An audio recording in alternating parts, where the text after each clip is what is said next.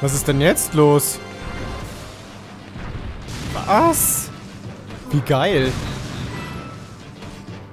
Ich reite den Drachen und kann auf A Feuer speien. Zwar greifen mich Kugelwillis an, aber ich habe nicht den Eindruck, als könnten die irgendwas ausrichten. Nein, im Gegenteil. Sie äh, prallen einfach am Drachen ab. Und äh, mit den Flammen kann ich hier Münzen einsammeln. Es ist allerdings nicht möglich, die Richtung zu ändern. Also ich kann nur geradeaus Feuerbälle schießen. Okay, das war jetzt wohl so ein interaktiver Trailer oder so. Keine Ahnung. Jedenfalls war es sehr kurz, aber lustig. Nun kommt äh, Level 10, das Rätsel der Rotationsruinen. Da kommt wohl ein neues Element auf uns zu. Okay. Bewegen die sich, wenn ich mich da drauf stelle, oder? Nee?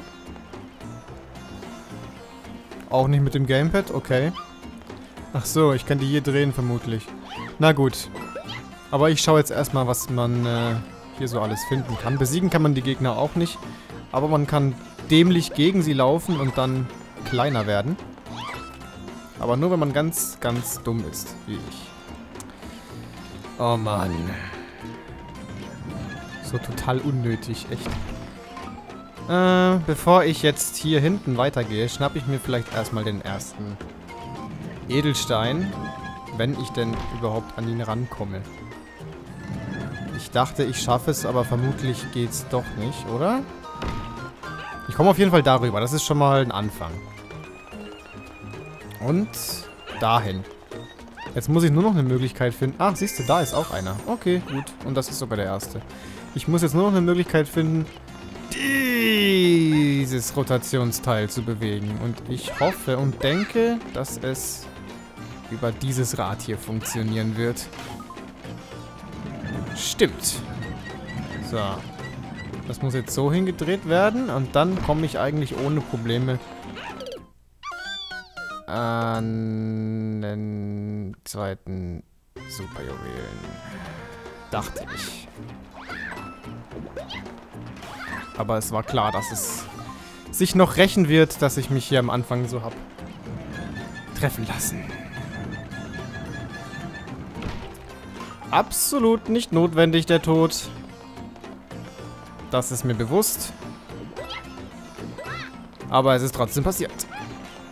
Schade. Wirklich kein guter Beginn für den Part. Aber wenn ansonsten alles klappt, dann verzeih ich's ihr. Hier hätten wir auf jeden Fall jetzt den zweiten. Der dritte, der war hier irgendwo, oder? Ah, nee, der ist da in der Röhre vermutlich. Die mich dann irgendwo hinbringt, was ich aktuell noch nicht sehen kann. Na gut, ähm... Ich sag mal, wir drehen hier an dem Rad, damit ich das Geld bekommen kann. Ne? Geld ist wichtig. Schön. Und dann schaue ich kurz mal, ob ich hier unten irgendwas Interessantes finden kann. Weil seht mal hier diese Höhle. Da komme ich jetzt zwar nicht hin, aber... Ah, doch. Aber die ist doch nicht umsonst. Nein, ist sie auch nicht. Hier ist ein Goldpilz versteckt. Könnte die Bonusaufgabe gewesen sein. Dann haben wir zumindest die im ersten Versuch hingekriegt. Wow, ne? Ich muss mir jetzt hier meinen Fail schön reden.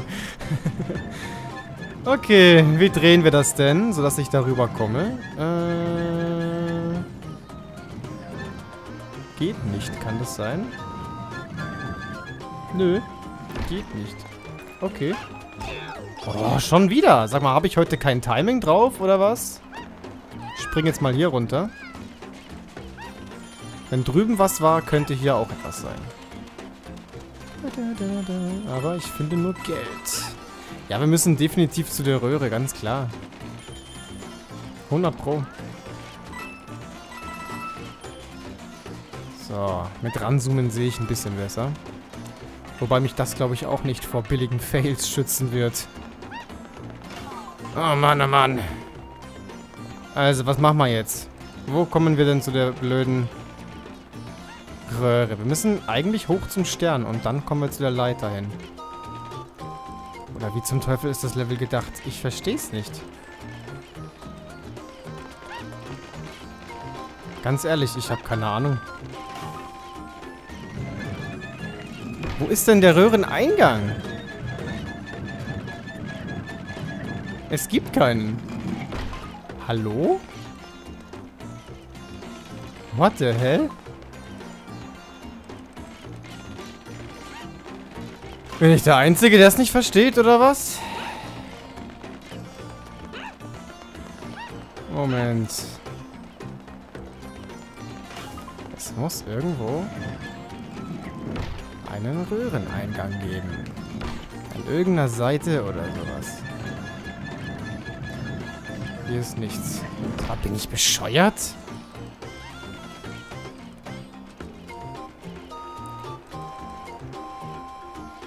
Ach, jetzt sehe ich's. Okay, ich weiß wie. Oh Mann! Ja, ja, ich hing, ich hing, ich hing. Oh Gott. Der Anfang des Parts ist eine Katastrophe. Das Einzige, was wir machen müssen, ist... Ja, vorher nochmal hier drehen. Habe ich vergessen. Wir müssen uns hier so eine Brücke bauen und darauf achten, dass vor allem das zweite Puzzlestück so liegt. Weil wir hier so drüber gehen. Ja, dann ist das alles eigentlich ganz einfach. Und ich frage mich, warum ich das nicht früher gesehen habe. Mann, Mann, Mann, Mann, Mann, Mann, Mann. Wenn ich jetzt noch sterbe, ja, dann, dann flippe ich aus. Es wird aber passieren, ich sehe es schon. Ich zoome mal ran. Oh Gott. Nein! Boah, war das knapp. Boah, ist das gemein hier. Alter. Und ich muss ja auch noch zurück. Da unten ist jetzt der letzte Edelstein. Kriege ich jetzt zumindest einen Pilz, bitte. Habt doch Mitleid. Gebt mir einen Pilz. Und ich meine kein One-Up.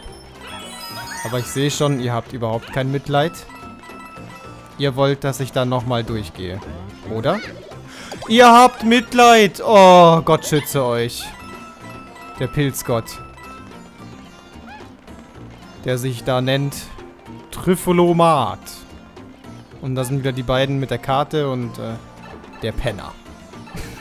Den nenne ich jetzt einfach nur noch der Penner. So, der Rückweg. Das werden wir doch jetzt wohl hinkriegen, oder?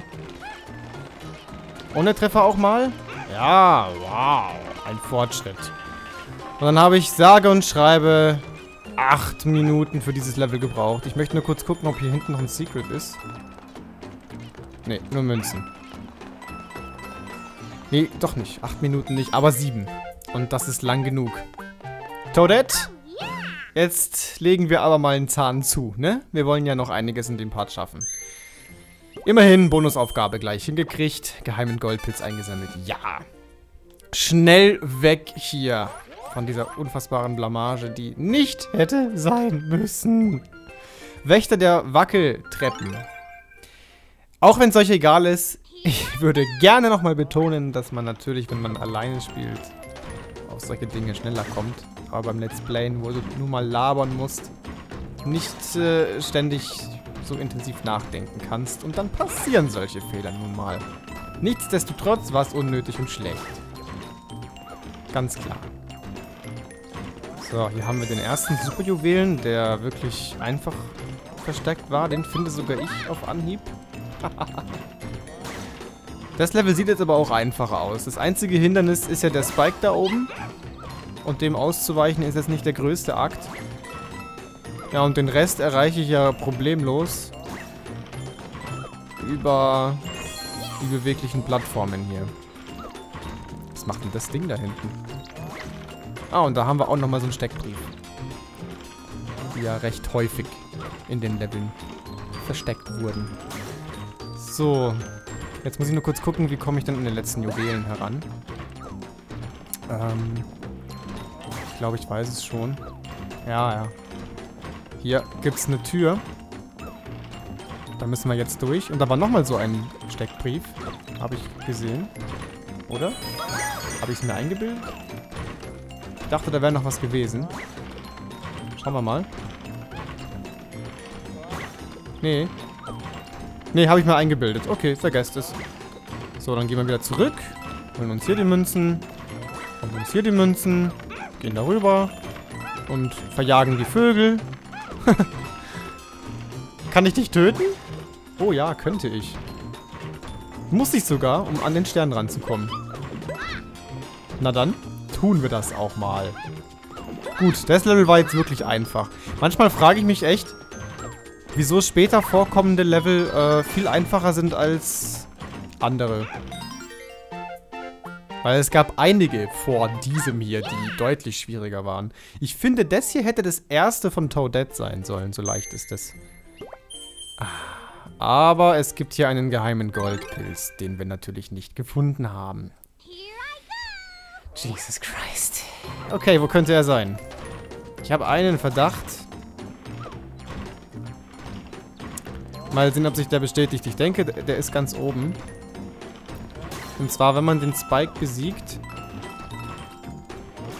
Ähm, oder es gibt nochmal einen geheimen, geheimen Durchgang irgendwo.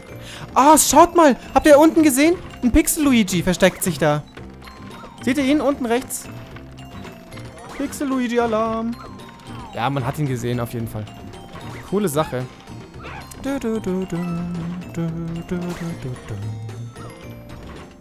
So, also. Entweder hier irgendwo ein geheimer Durchgang noch. Aber das bezweifle ich ehrlich gesagt. Nein, nein, das ist schon oben. So groß ist das Level nicht. Das ist schon oben. Bestimmt. So, wenn ich den jetzt nämlich umbringe, dann, dann oder? Mal sehen. Vielleicht auch hier. Ach, da. Okay. Ja, gut. Ich habe nur gemeint, dass ich vielleicht... Wartet. Jetzt, wo das, wo das sich ausfährt, da vielleicht irgendwie oben drauf muss, aber... Nein, es war noch einfacher. Badam, badam, bam, badam, bam. Kann man durchaus auch im ersten Versuch finden, aber gut. Wenn man halt nicht weiß, dass man was suchen muss, dann findet man es meistens auch nicht. Was ist denn das? Hä? Mumienschanz im Labyrinth. Das ist wohl eine andere Art von Bonuslevel. Was zum Teufel? Was soll ich hier machen? Ach, ist es so eine Art Schatten-Mario-Spielchen? Ja. Ja, sogar exakt dasselbe. Wir werden von äh, diesem Mumientoad verfolgt. Der ist allerdings schneller als wir. Und er macht exakt dieselben Bewegungen wie wir. Deswegen können wir ihm eben auch ganz gut ausweichen. Ähm, aber, wie gesagt, er ist schneller. Er ist sogar erheblich schneller. Und jetzt sind wir hier in einer Sackgasse. Alter, lass mich in Ruhe. Ach, gut, gestorben bin ich nicht. Aber ich habe jetzt auch nicht so viele Münzen ges gesammelt. Gut, 249 ist in Ordnung, aber geht auf jeden Fall noch mehr. Ganz äh, cool, dass sie die Schatten-Mario-Spielchen auch in dieses Game integriert haben. Aber es ist halt keine neue Idee und deswegen flasht es mich jetzt nicht wirklich. Schalter im Ziergarten. Here I go. Oh, der sieht aber wirklich zierlich aus. Passt zu einer Dame. Gut, äh, soll ich da jetzt einfach runterjumpen? Ich würde vorschlagen, wir gehen hier lang. Ach, verdammt. Ich dachte, ich könnte auf der Hecke landen. Ah! Hat nicht geklappt. Und du lässt mich in Ruhe, klar? Neuer Steckbrief. Hier ist gleich mal das äh, erste Juwelchen. Und ein P-Switch. Hey, das wollte ich jetzt aber nicht. Jetzt komme ich da nicht mehr hoch. Verdammt, kann man die auch wieder deaktivieren? Wenn nicht, habe ich da jetzt einen Fehler gemacht, ohne es zu wissen. Ah, doch, kann man. Okay, dann müssen wir die richtige Kombination herausfinden. Aber ich würde sagen, wir besiegen erstmal alle Gegner, damit die mich nicht unvorbereitet treffen können. Moment, bevor ich jetzt irgendeinen Schmarrn mache, hole ich mir hier erstmal das Juwelchen. Und besiege dich. Drücke mal hier diesen Schalter. Komme ich hier hin? Ja, springen kann ich ja leider nicht. Auch wenn die Münzen mich dazu einladen. Es wird nicht hinhauen. Moment. Drücken wir mal hier drauf. Dann komme ich da hoch. Du verschwindest. Du auch. Also Gegner sind schon mal alle down. Jetzt brauche ich halt nur noch eine gute Kombination der P-Switches, um an den Kristall ranzukommen. Moment mal. So müsste es eigentlich passen. Nee, tut's nicht. Oh, shit.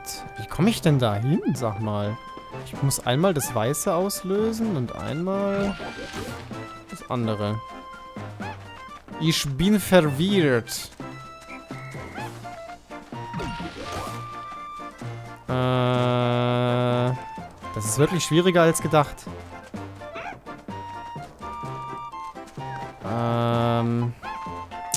Ja auch nicht. Ich habe viel zu wenige Leitern zur Verfügung. Okay. Und jetzt... Oh, come on. Wollt ihr mich eigentlich verarschen?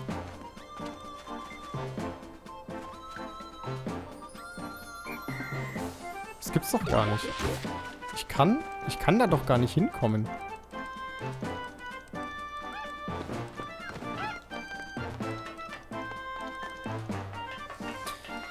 Von hier oben kann ich auch nirgends runterspringen, ne? Nee. Brauche ich vielleicht die Hilfe eines Gegners? Wenn, dann habe ich es versaut gehabt.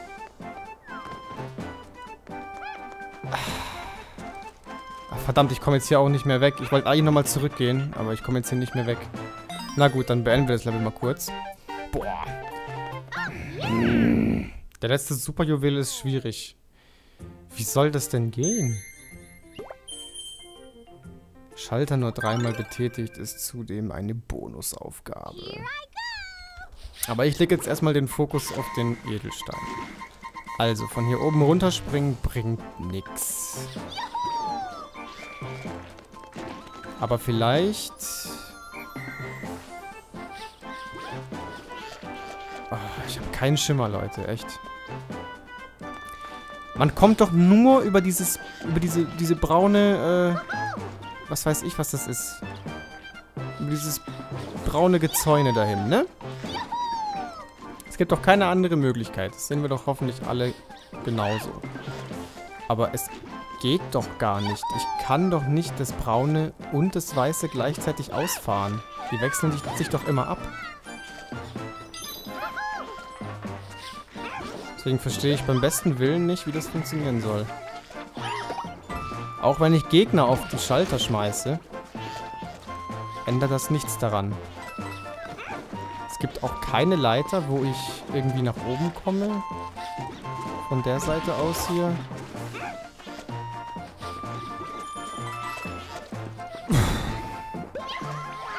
Ich glaube, das muss ich reinschneiden, weil da werde ich länger rätseln müssen. Dieser Juwel ist mir aktuell zu hoch. Ich habe keine Ahnung. Wisst ihr was? Mir kommt gerade eine ganz andere Idee. Und ich glaube, das ist auch richtig. Boah, ist das asozial. Meine Vermutung ist nämlich, man kommt da nicht hin. Es geht nicht. Weil egal wie ich stehe, ich kann ja, selbst wenn ich auf dem Weißen draufstehe, unmöglich den Schalter irgendwie betätigen, damit dann das braune Teil ausgefahren wird, ne? Das geht nicht. Und deshalb müssen wir folgendes tun, was wir auch schon in anderen Leveln getan haben. Und das ist auch der Grund, warum da die Münzen sind. Die sollen nämlich folgendes vermitteln. Schmeißen den Gegner rüber. Ja, so ist es. Ach, du leck mich doch! Ich rätsel hier eine halbe Stunde. Wie soll ich denn die Schalter drücken, dass das geht? Und ach, wenn ich den eindrücke, dann fahren doch die anderen runter. Das geht ja gar nicht. Aber mein Kopf sagte mir dann, ja, das kann nicht sein. Das geht schon. Und dann irgendwann habe ich mich erinnert an dieses eine Level, wo man da mal äh, über diese äh, Blöckchen rennen musste, die dann runtergefallen sind. Ihr wisst schon welches, ne? Da mussten wir den letzten Edelstein ja auch mit einem Gegner abwerfen. Oder, mit, oder was es auch immer war. Keine Ahnung. Oder Gemüse. Und dann kam mir der Gedanke, shit! Deswegen sind die Münzen auch da. Oh, und ohne es zu wissen, habe ich im Übrigen gerade die Bonusmission geschafft. Ey, das ist so gemein, weil daran denkst du nicht. Das, die ganze Zeit musst du die Schalter betätigen, um an den ganzen Shit ranzukommen, selbst an den Stern. Und du, du kommst einfach gerade nicht drauf, dass du den Gegner nehmen musst. Zumindest bei mir war das der Fall. Ah, schreibt in die Kommentare, wusstet ihr es sofort oder habt ihr euch auch vom Level linken lassen? Wie fies, ey! Das nächste Mal geht's weiter mit Glasröhrengewusel. Tschüssi.